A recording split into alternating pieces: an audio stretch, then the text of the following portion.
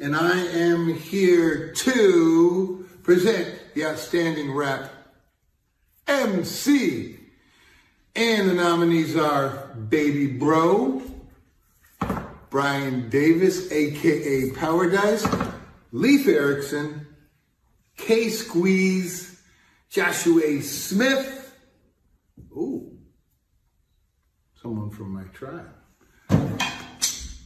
Let's see, drum roll.